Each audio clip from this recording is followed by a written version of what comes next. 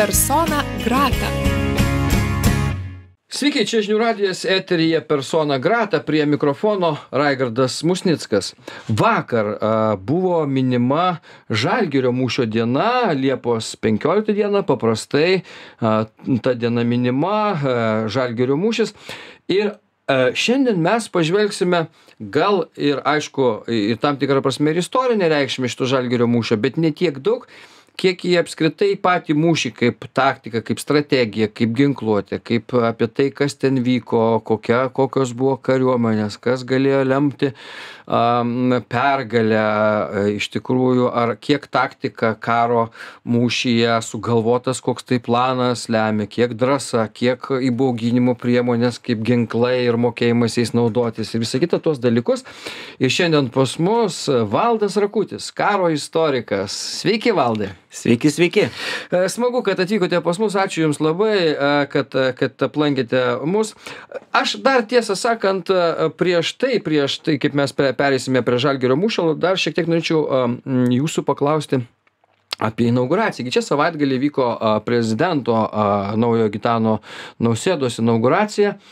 Mm, čia, nu, be, be, be kažkokių tokių ypatingų naikintuvų ir taip toliau, bet šiaip karo pramonė istorijoje kiek dalyvauja e, nu sakykim valdovų karalių ypatingai lietuvos e, didžiosios kunigaikštystės istorijoje e, būdavo kažkokie tai kariniai paradai galios demonstravimas kai nes iš esmės gi valdovas mm, iki matyt tam tikrų laikų iki visą laiką būdavo ir ir genties vadas dar tam tikra prasme nu kaip čia ka kariuomenės vadas irgi ir dabar taip yra bet tas grynai jau veikiantis karo lauke.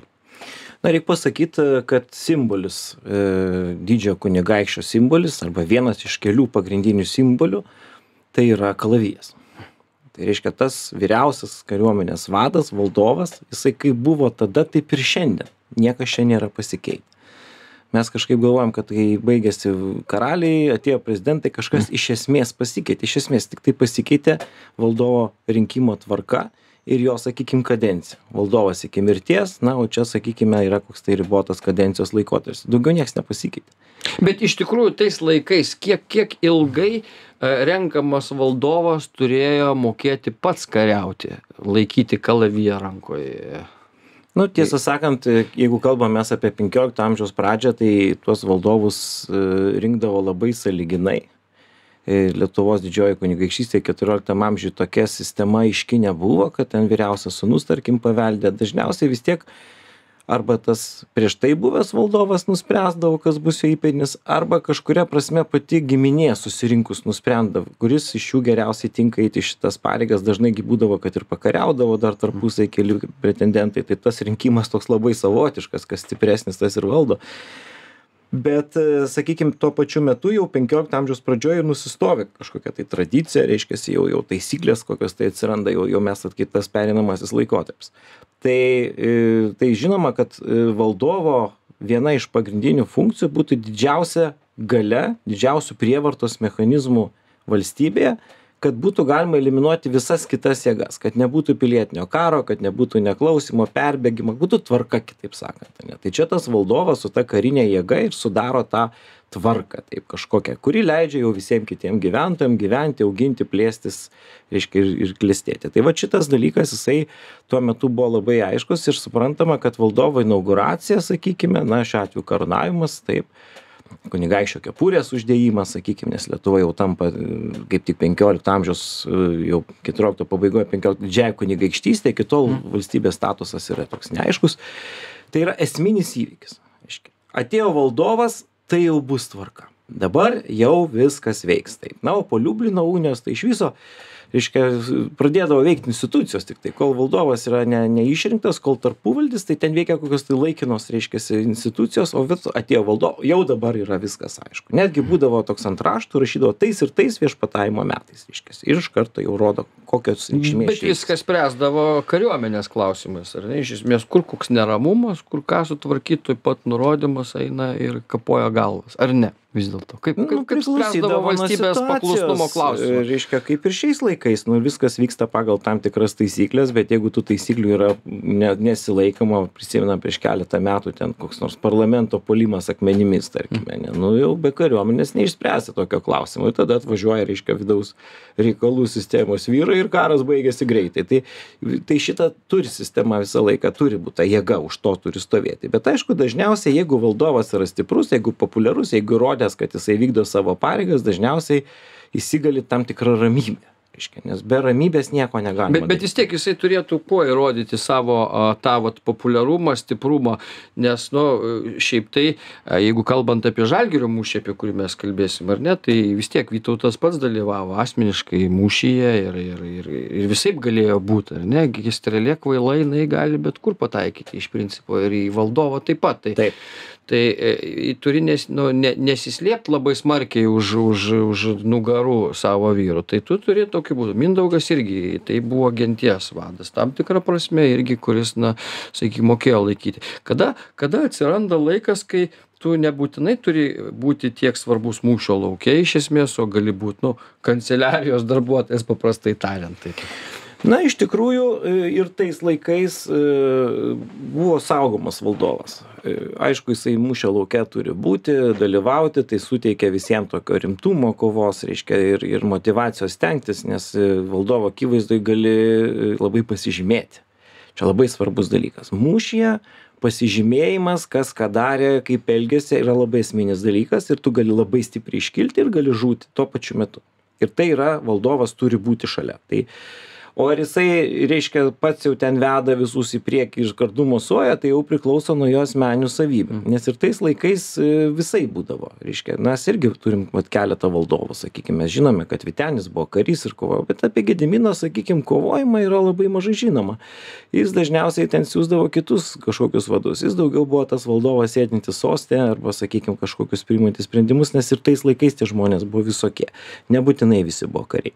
Tai čia ir tokie ir tokie variantai asmenybių, nu čia vėlgi kaip Aleksandras Makedonietis, pavyzdžiui, kuris ten verždavosi pats į mūšį, be akis dega, pirmas bėga ir Jo. ten koks nors persų e, karalius, koks nors Darijus neša muilą, vien tik pamatęs, kad atjoja Makedonietis, ten sėdėdamas už nugarį savo kariuomenės iš Galgavelo mūšio bėga metus per dykumas, kad ten kaip nors. Jo, tai va tok, tokio lygio, reiškia, ku- kurie, nu, čia nežinau, čia aišku, asmenės savybės, jas įvairiai galima vadinti, pat, ba- asmeniškai pačiam pasivyti ir nugalėti ir nukirst galvą, tai čia jau tikrai nieko reikia nebijot, už tai ne vien makedonietis ir turėjo ir strėlę plaučiuose ir, ir kur tik tai nori, kas ir dabai, pribaigė jį turbūt anksčiau laiko. Tai mes tokių turėjom valdovą ar ne, kurie taip elgtųsi maždaug panašiai. Be jokios abejonės. Mes galime netgi juos paminėti, tokius valdovus karius. Tai man iš karto, nekalbant apie tuos, reiškia, viduramžių mūsų valdovus, kurie ten daugiau turėjo kovoti ir, ir ten jiems tiesiog pagal pareigas priklausė. Tai iš vėlesnių laikų aš pirmoje vietoje paminėčiau Steponą Batorą, Vladislavą Vazą. Tai va yra du tokie valdovai, kurie akivaizdžiai buvo karo vadai kurie patys asmeniškai dalyvavo karinėse kampanijose, buvo karo stovyklai, duodavo kokius tai konkrečius nurodymus. Tai čia yra tikrai, na, ir Augustas. Bet ne priešakinėse linijose, kaip makedonietis. Sakykim, Ar ne? Ar, ar vis dėlto- Priešakinėse linijose čia jau matot yra kitas dalykas. Iš tikrųjų yra labai didelė rizika. E, Nereikia eiti priešakinės linijas. Už tai, kad žmogus į priešakinėse linijose nustoja būti karo vadu, nes jisai įsitraukia į tą kovą ir jisai tada galvoja apie tą taktinę aplinką, o jisai turi būti ten, kur visi mato. Tai Napoleonas irgi su špaga rankoje yra e, dalyvavęs keliuose tokiuose įvykiuose, bet savo karjeros pradžioje, kad įrodyt kareiviam, kad jis yra tikras ka- karo vadas. Toliau jisai stovi ant kalniuko ir reguliuoja, nes va, karo vadas turi nemusuot kardu, o turi, reiškia, vadovauti. Mūšiui reikia vadovauti. Reiškia, jeigu tu nevadovausi, tai tada tave priešas įveiks. Taip, kad tas mausavimas kardu yra daugiau toksai idealaus ryterio vaizdinys, negu rimtas, rimtas poreikis musuot su kardu. Bet vad vadovauti mūšiui, tai čia yra būtina sąlyga ir pagrindinis, sakykime, darbas karo vado mūšė tai yra rezervų valdymas. Juk iš karto visa kariuomenė nestoja į mūšį, nes jeigu tu jau įvedi visus savo rezervus, tu prarandi galimybę daryti įtaką mūšio eigai. Reiškia, tu turi tuos rezervus įvesti tada ir taip, kaip reikia, ir ten kur reikia kad pasiektum reikalingą rezultatą. Čia ir yra vado pagrindinis dalykas. Na ir aišku ten jeigu atsitiko krizė kažkokia ten subyrėjo koks sparnas ar dar kas nors tai jau karo vado reikalas organizuoti kad reorganizuoti tą tą tą sus susvyravusią dalį kad jinai vėl galėtų sudalyvauti sekančiam mūšio etape.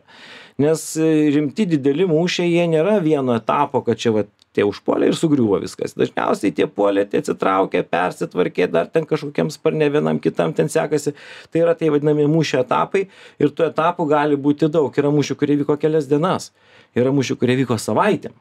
Tai čia va tas karo valdymas yra labai sudėtingas dalykas ir iš tikrųjų kur yra kodėl menu vadinamas reiškia karo menas o ne koks karo mokslas. Už tai kad ten ne taisyklės lemia o jausmas kada ir ką daryt Mokėjimas laiku mąstyti, ar ne? laiku priimti teisingą sprendimą Trumpą pertrauką padarom. Valdas Rakutis, karo istorikas šiandien pas mus laidoje e, ir po pertraukos pratesim.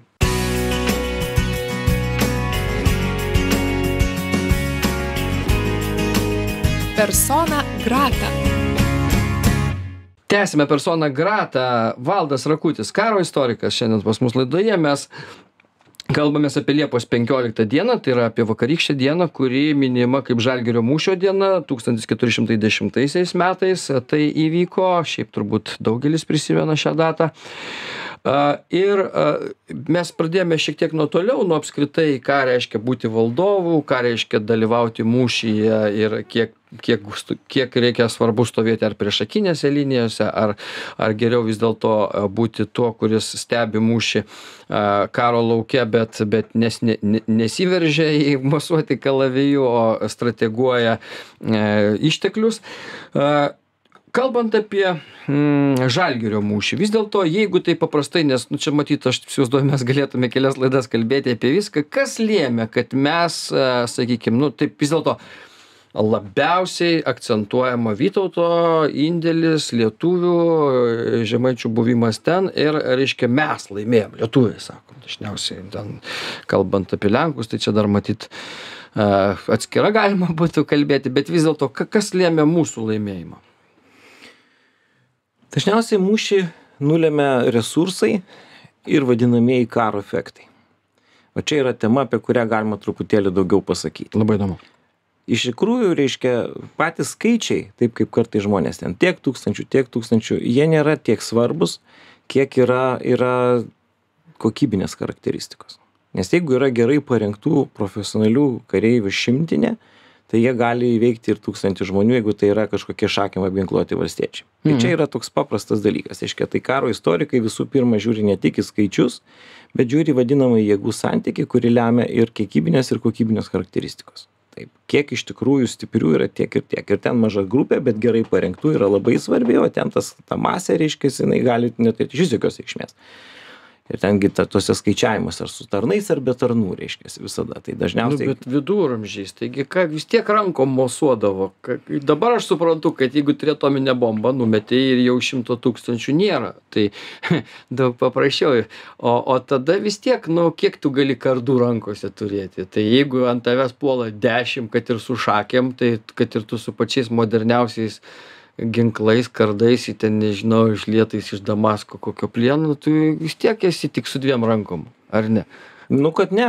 Va tas ir reikalas yra kad reiškia riteris jeigu gerai yra parengtas e, karys ant gero žirgo reiškia parengtas tai reiškia kad jis nuo dvylikos nuo keturiolikos metų jau mokėsi šitą darbą daryti o mot mo moraliai buvo nuo vaikystės ruošiamas šitam reikalui jisai gali drąsiai dešimtim guldyti priešus jeigu jie yra neparengti Nu, baks tu- šakėm žirgui į, į, į, į šlaunį ir jis jau guli tas žirgas ir, ir jau tam tikram lygiai ryteris atsiduria, ar ne? jeigu jisai eina vienas tai jį gali nesunkiai nuversti bet jeigu jie eina tam tikra lavina ta prasme eina tam tikra rikiuotė kada šonai yra apsaugoti ir principe tu tik prieky gali kažką tai pažeist o tie žirgai vis tik buvo šarvuoti.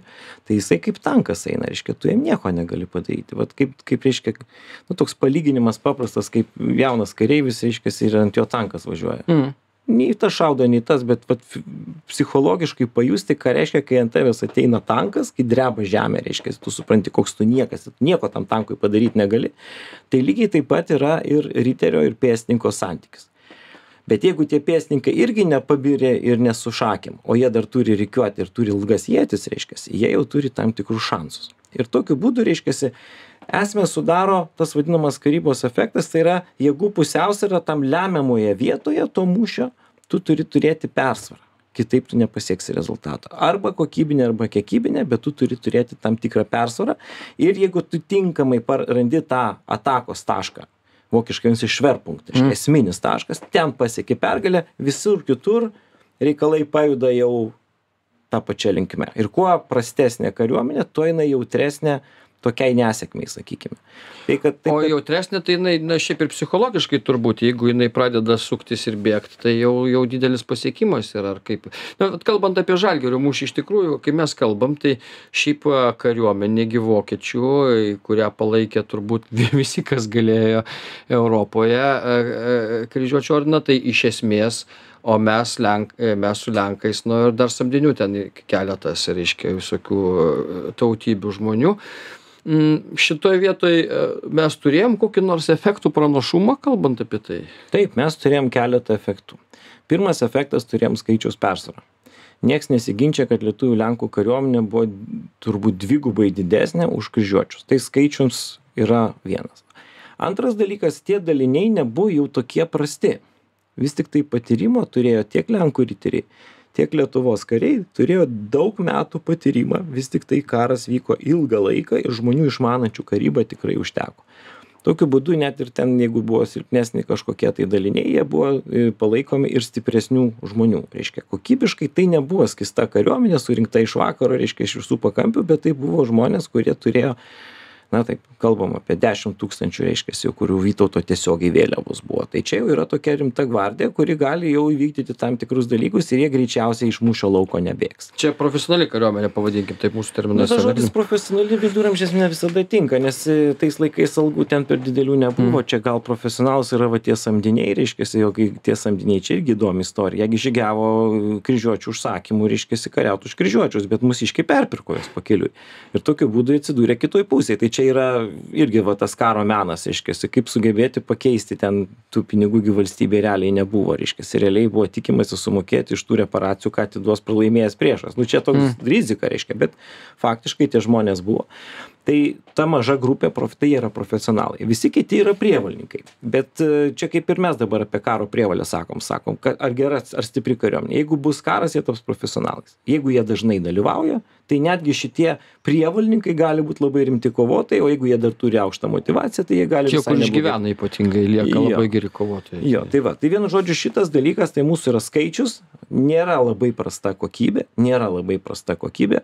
Lenkų riteriai, tiesą sakant, gali varžytis su, su vokiečiais, reiškia, nu, ten gal nėra viens prie vieno, bet koks 0,8 prie vieno, nu, toks maždaug santykis kokybinis yra. Ir vienintelė vieta, kur reiškia jau mūsų silpnoji vieta, kad ne, ne mūsų tie pagrindiniai kovotojai, bet tie, sakykime, lydintieji asmenys, jie yra ginkluoti ir truputėlį silpniau. Tuo tarpu kryžiuočiai sugeba apginkluoti ir tarnus šarvais aprūpinti.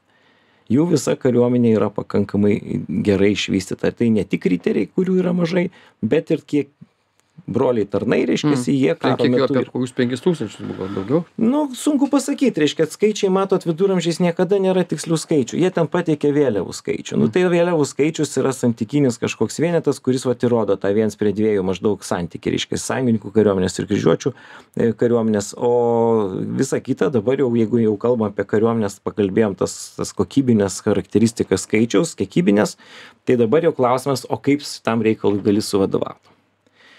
O čia dabar jau iškyla labai rimti klausimai. Tokio dydžio kariuomenė, kokia buvo lietuvių lenkų, nesusirinko niekada prieš tai. Ta prasme, tai yra didžiulis skaičius žmonių. Ir tokio kalbėti, kad kažkas turi patyrimą valdyti tokią masę žmonių, mes neturime teisės. Nei vienoje, nei kitoje pusėje iš esmės tokio dydžio kariuomenė nesusirinko. Čia yra išimtis, o ne taisyklė. Žalgirio mūšis nėra įprastas mūšis. Tai yra mūšių mūšis. Kaip jie ir tada vadino. Tai buvo labai daug žmonių. O ką tai reiškia? Jeigu kariuomenė užima platų barą, pažiūrėjau, 5 km, 4 km, 3 km. Frontas toksai. Jo, realiai tu nebematai tų galų. Fiziškai yra labai sunku valdyti ir realiai neįmanoma iš vieno taško valdyti. Reiškia, tu turi deleguoti jau valdymą tam tikriem kitiem žmonėm, kurie gali akimis matyti, kas ten vyksta. Taigi tu turi turėti tų kitų vadų. Tai žalgirio mūšiui ne tik kad vienas vadas vadovauja bet vadovauja ir kiti vadai. Jų vardai gi yra žinomi ir vienoj ir kitoj pusėj. Ten yra ir ir iš vokiečių pusės ir ordino maršalas reiškias ir ten komtūrai tam tikri kuriem paskirtos funkcijos. Ir yra rezervo vadas yra dar kiti. Tai realiai reiškiasi tas vyriausias vadas jisai dažnai viduramžių mūšyje turi galimybę kelis kartus tai yra sumanymas mūšio pa pasakytas ir galbūt kokią tai krizę gali išvengti iš esmės naudodamas tą rezervą o jau ten kaip ten kam sekasi tai jau kaip tenai kas stovi toje vietoje koks ten vadas. Tai sakykim jeigu mes kalbėtume be jokių tenai didelių reiškia tokių čia lietuviai lenkai kas paprastai yra ginčijamasi bet kalbėt apie patį mūšį tai lietuvių lenkų tos jungtinės kariuomenės pagrindinis privalumas buvo tai kad vadovybė veikė vieningai. Ir jogailos vytauto ryšys kuris buvo labai stiprus yra viena iš pagrindinių elementų vienas iš pagrindinių elementų šiame mūšyje. Jie veikia sutartinai. Tai veikia kartu, reiškia vienas kitą papildydami ir būtent ryšys. Nu, kiek vienas nuo kito toli buvo? Nu žinoma kad jogailos buvo vienoj vietoj reiškia konkrečioj vietoj aišku kurioj kur kurioj nu pagal tą bendrą schemą mes tik tiesiog mūšio vietos nežinom. Čia atskiras atskiras klausimas ne neranda lenkai reiškiasi to mūšio požemių išskyrus keletą ten tokių detalių prie tos koplyčios. Tai ten pusantro kilometro diskusija yra kur ten viskas buvo bet Nemažas atstumas vis tiek, o kaip susibendraut, kai racijų tai nebuvo telefonų tuo. Tai realiai per pasiuntinius ir realiai kad jau tas vadas kuris yra ten tam flange jis jau žino koks yra jo reikalas ir ką jis tai turi daryti bet čia tiktai viena problema yra Tuoj. Vat labai gerai, čia tik viena problema. Padarom trumpą pertrauką ir apie kitas problemas po pertraukos.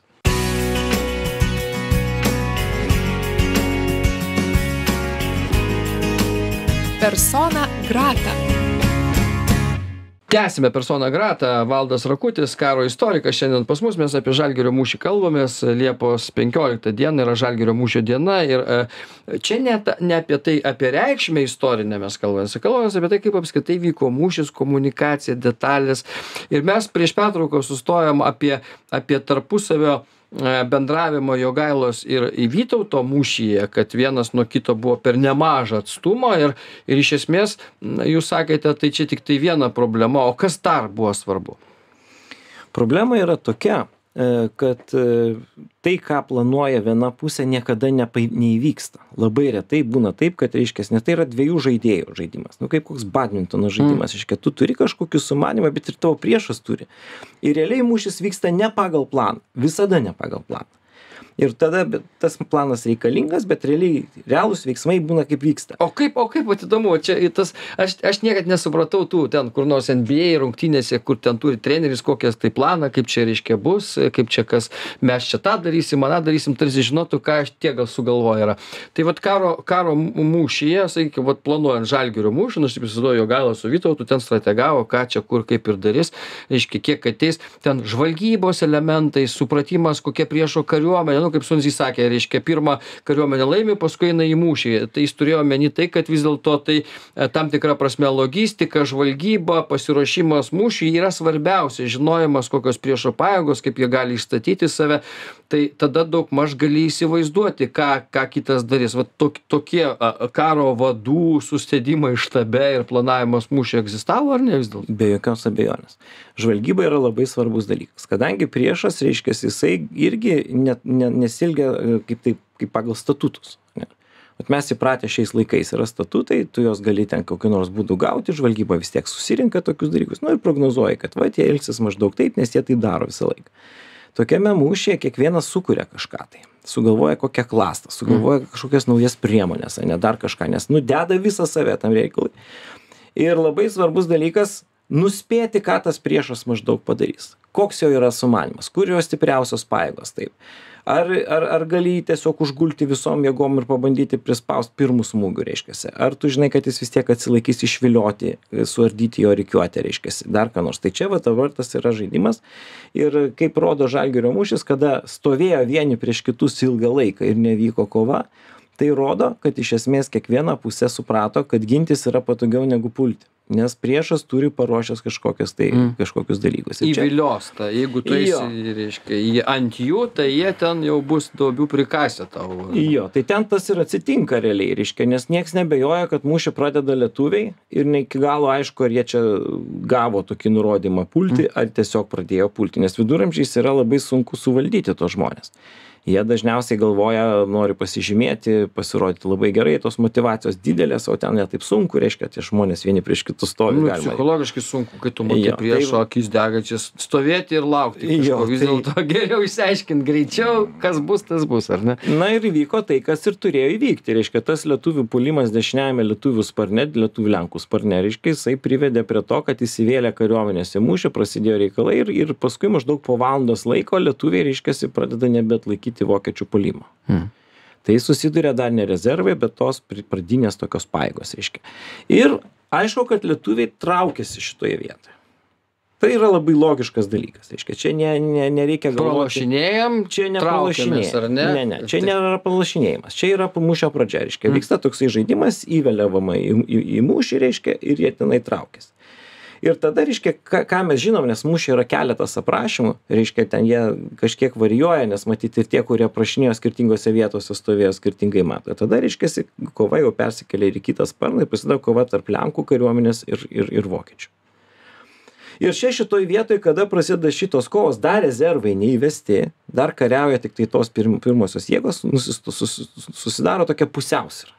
Nei tie gali nei tie gali reiškia ir kada ta pusiausvyra pradeda po truputį judėti vokiečių naudai nes lietuvių sparne neaišku kas vyksta reiškiasi lietuviai atsitraukė iki kur atsitraukė neaišku rašo pabėgo dlugošas reiškia bet ten Nu, tai čia jo, neaišku kas ten vyksta. Jo, ten kažkas tai reiškiasi vyksta.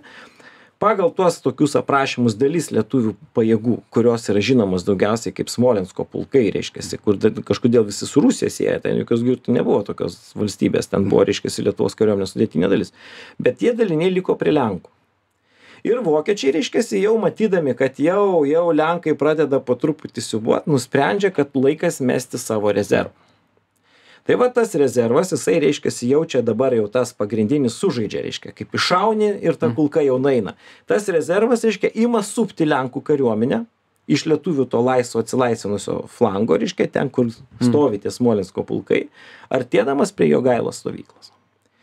Ir tas judėjimas yra tiek pavojingas, reiškia, kad jo gaila realiai stoja į mūšį. Ne pats asmeniškai, bet jau jo apsaugos būriai jau įsivelia į mūšį, reiškia, ir tokiu būdu iš esmės eina kalba apie Lenkų kariuomenės apsupimą ir paguldymą.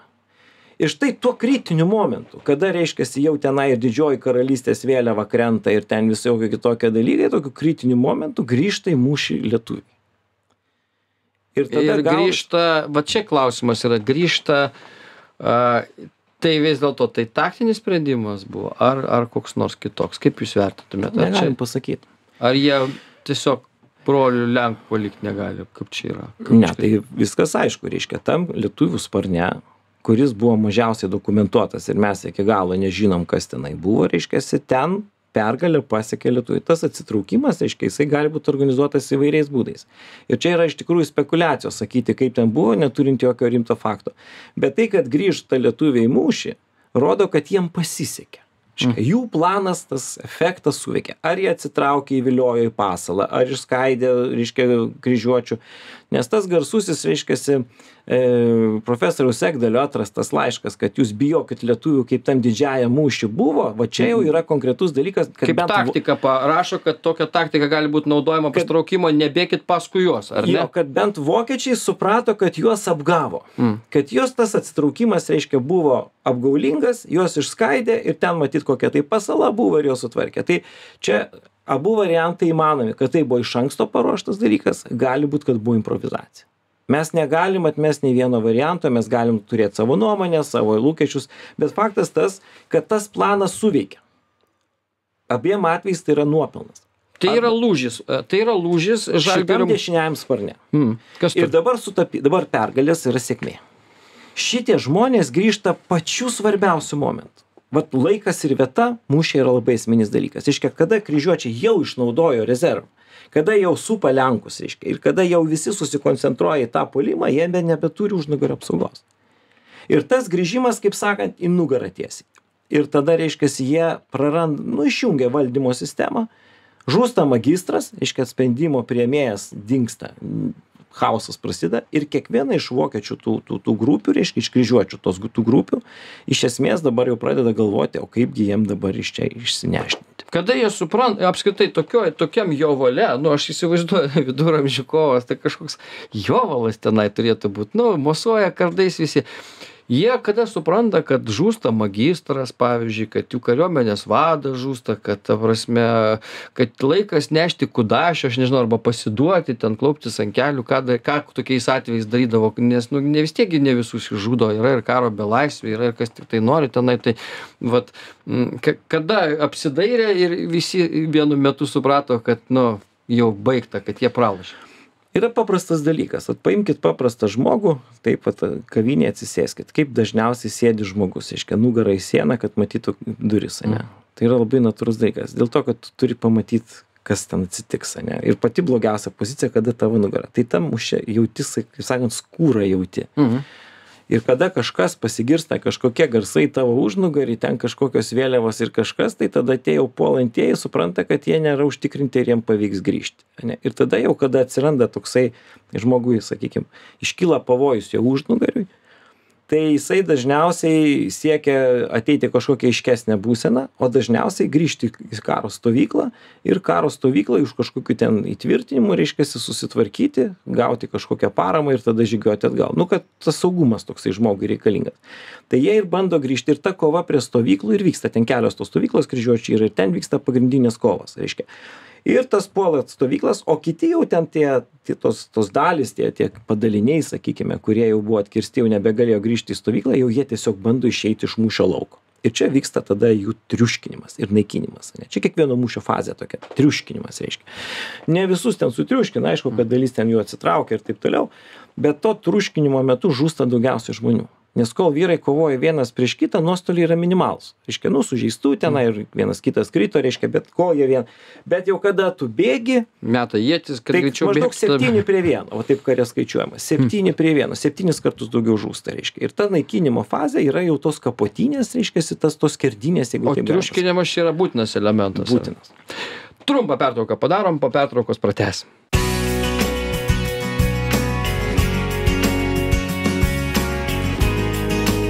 Persona grata. tęsiame persona grata karo istorikas valdas rakutis šiandien pas mus laidoje ir mes žvelgiame į e, žalgirio mūšį e, šiek tiek akyliau per pačio pačio mūšio ir kariavimo strategijos ir taktikos elementus sustojome ties triuškinimu kur sak sakėte kad tai yra būtina. Kai jau kariuomenė pralaimi priešo kai jinai traukiasi iš mūšio lauko kai bėga e, jie reiškia yra nu tiesiog pasiimi ir užmušinėjami paprastai tariant ar ne? Čia n o o kada jau kada jau ta ke kelinta ten nežinau stadija jau pasigailėkime ir nebežudykime o imkime karo belaisvius ar ir būdavo kokių elementų kai tu gali parodyt kad pasiduodi ir ir tu nebegausi per šalmą kardo priklausė nuo žmogaus statuso. Reiškia jeigu riteris pasiduoda tai yra labai geras biznis. Mm. nes jį tikrai išpirks ir už aukštą kainą pinigai tais laikais buvo labai vertinami ir jau keturioliktam amžiuj jau riterių nežudydavo bet imdavo į nelaisvę ir paskui juos arba išsikeisdavo arba parduodavo. O tas matosi ar ne kuris čia riteris su jo ten aiškiai matydavos. Tais laikais tarp kitko luominėj santvarkoj labai atsiskirdavo. Netgi buvo laikoma kad prašiokai neturėtų su riteriais kariauti čia riterių jau reikalas tarpusavy kautis. Ne dideliam mūšy tas ne neveikdavo bet reiškia tokiam idealiam variante būdavo ir sakykime jeigu riteris jau pasiduoda atiduoda kardą tai tikrai nežudo nes tai yra pajamos ir rimtos pajamos nes tokiam dalykui šeima ras pinigų išpirkti o visus kitus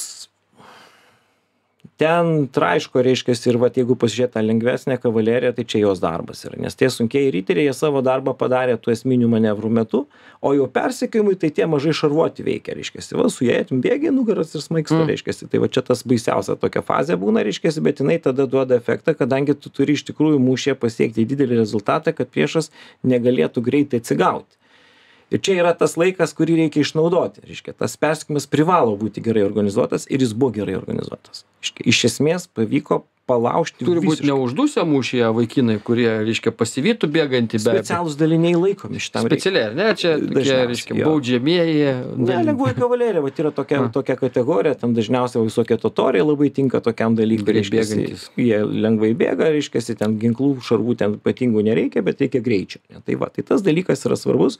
Ir šita fazė jinai priveda prie to, kad kryžiuočio ordinas pasijunta nugalėtas iš esmės. Iškia, realiai bent jau po mūšio vokiečiai, vokiečių miestai pilis kapituliavo masiškai. Iškia, visiškas pralaimėjimas. Mm. Kapituliacija tai reiškia, mes ateinam, jie tiesiog iškelia rankas. Jo, mes pripažįstam tavo pergalę ir mes dabar tau tarnausim, viskas aiškiasi. Tai vyksta šitas dalykas ir e, dažnai labai kaltima, kad jie tris dienas kariuomenė stovėjo vienoje vietoje, reiškiasi, priminėjo ten tos pasidavimus visus, reiškia ir taip toliau, bet, e, bet tai yra irgi Galima negalima. dėl to, kad Marienburgas spėjo sustiprėti per tą laiką, ar ne? Ar kaip? Jo, jo. Iš esmės. Nes va, va čia man dar, kadangi laiko ne per daugiausiai turi, man dar įdomi ta vieta yra paskui, na, iki galutinių visų reikalų, e, Marienburgo pilis, kuri taip ir nebuvo paimta. Ir mane visą laiką domino, kiek gali tvirtovė, jinai pasižiūrėjus į ją pakankamai nemaža, didelė, bet vis tiek, jeigu yra apgultis pilies, nu, apie Troją, kai kalbam dešimt metų, ten publika laukia, tai vis tiek kažkokie resursai, taigi baigėsi, ten kiek, kiek, kiek tokia tvirtovė e, gali, gali talpinti, sakykime, karių, saliginai žiūrint į, veikiant, į, į mūšio lauko kariuomenę, e, kiek gali turėti resursų, maisto, viso kito, kad kiek, kiek jinai gali. Nu, jeigu metus laikysi, taigi to iš žmonės maisto ieškoti, ar ne? Ar nebus? A va čia reikalas, kad šita tvirtovė gali. Gali. Nes reikia suprasti, kad Marienburgas, reiškia, jisai statytas pagal e, kryžiuočių pilių šventojo žemėje iš esmės tipą. Ten yra daug tokių dalykų, kurių kitose pilyse nebūdavo, reiškia. Jie tų resursų turėjo ir kas gerai, kol ta Lietuvos Lenkijos kariuomenė džigiavo iki Marienburgo, reiškia, jie dar spėjo dar susivežti atsargų. Mm.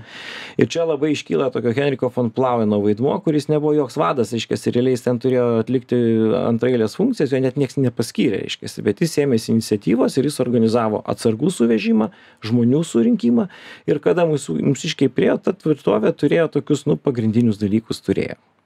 Jau galėjo sėdėti, reiškia, atsargų buvo, ne, nebuvo taip, kad visai Vis skysti. tiek kiek, kol mūsiškiams atsibos. A, va čia problema, kad puolanti kariuomenė turi tą pačią problemą. Jiem irgi reikia valgyti.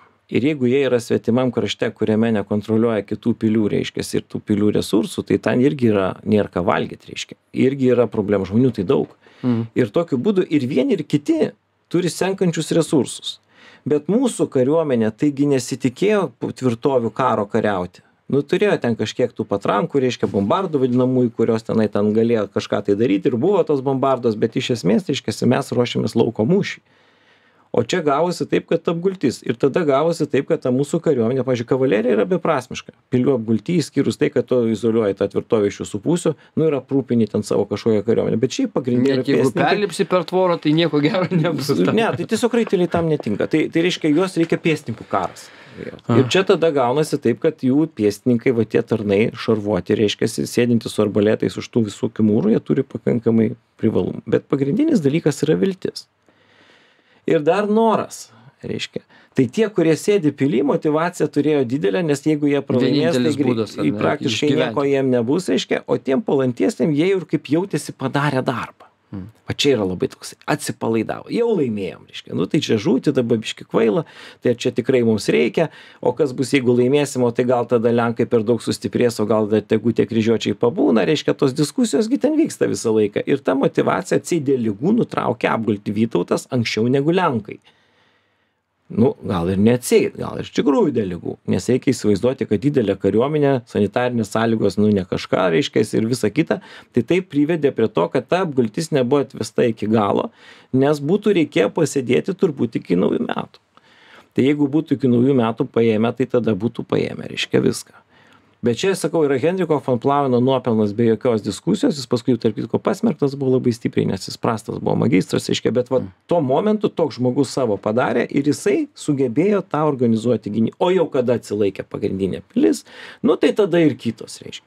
Nes tais laikais irgi kaip kariai yra lyderiai ir yra tokie kurie kaip sakant susitvarko pagal vadą. Tai va ten kadangi tas pavyko apgultis tai tos pergalės rezultatai sumažėjo kelis sykius tai va čia galima tikrai pasakyti ir čia dar labai įdomu įdomi vieta yra ti tiek apie ją dar galima būtų šnekėt nors gaila laikas baigėsi. Dar vienas klausimas toksai jau pabaigai. Šiaip mūsų nu vidu di didžiosios kunigaikštystės a a vadai kunigaikščiai mm, vat kalbant apie žalgirio mūšį jie aš tokį nu metaforiškai klausiu karo akademijas kokias nors turėjo ar tai iš kartos į kartą perduodami kažkokios žinios kaip kariauti ten valdovas gaudavo kokius nors karo vadus kaip sakykim kokioj nors graikijoj ar kažkur ir ir ir taip toliau kurie žinodavo ką daryti ir taip toliau. O o ar ar vis dėlto jie kažkur nu būdavo rašytinės kokios informacijos kaip kas kariavo taigi tiek karų buvo iki to laiko kur tam tikros taktikos išlikusios ir aprašytos žinomos jos yra vieno ar kito mūšio pasisemt žinių ar vis dėlto sugalvodavo kaip čia sakyt labiau sugalvodavo. Sugalvodavo. Labiau sugalvodavo. Tai nereiškia kad nebuvo naudojama patirtis buvo vertinami patyrę žmonės vadai ir ir ir užsienio žmonės kai kurie kurie reiškias ypatingai pilių paėmimo klausimu ten va ta vieta kur jau reikėjo truputėlį daugiau žinių ir visokių gudrybių tenai ir tų vadinamų strategemų reikėjo žinot. Bet lauko mūšyje didelę dalį turėdavo politinė valdžia ir gebėjimas valdyti žmones lojalumas ar kariai dėl tavęs kaunasi ar ne ar tiki tavim čia toks labai esminis dalykas. O kadangi jie nuo vaikystės dalyvaudavo karo žygiuose tai ta karyba jinai tokia nu kraujyje kaip sakant reiškia žaisdavo krepšinį nuo senai. Ir tada gaudavosi kad reiškiasi šitas išmanymas jisai didžia dalim ir duodavo tą rezultatą. Bet vado jausmas reiškia laikas ir vieta. Va čia jeigu jisai tinkamai tą padarys tada padarys. Ir jeigu jau kariai tavim tiki tavo šansai laimėti auga irgi reiškia nes kariai žino kad vadas kietas vis tiek bus gerai pasitiki savimi drąsiai puola nes karas yra toksai pie bai bjaurus dalykas reiškia iš esmės tu turi numalšinti savisaugos jausmą savyje. Ir jeigu tu jį malšini tai tu turi turėt labai aukštą motyvaciją pasitikėti va vadu reiškia ir a vis tiek mes laimėsim mes visą laiką laimim reiškiasi ir ir mes juos mes juos paimsime.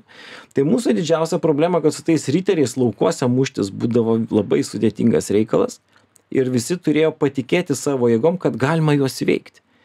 Nes psichologiškai nu kaip rusai bijojo vokiečių sakykime kad ir kad ir pi pirmo pasaulinio karo metu tiesiog bijo reiškia negali. Tu tu jie žino kad nelaimės. O čia mum pavyko kad patikėjom jėgom kad galim padaryt ir va Nu. tas patikėjimas buvo esminis. Karo reiškia kaip čia kovinė dvasia egzistavo. Svarbiausias dalykas. Ačiū valdai jums. Valdas rakutis karo istorikas šiandien a, a, a, papuošė mūsų laidą mūsų radiją. Ačiū kad atvykote. Iš tikrųjų labai už įdomų pasakojimą. Nepamirškime visi a, žalgirio mūšio taip kaip mes elgiamės. Kam ir šiom dienom labai naudingų dalykų. Dėkui valdai ir iki kitų kartų. Iki kito karto.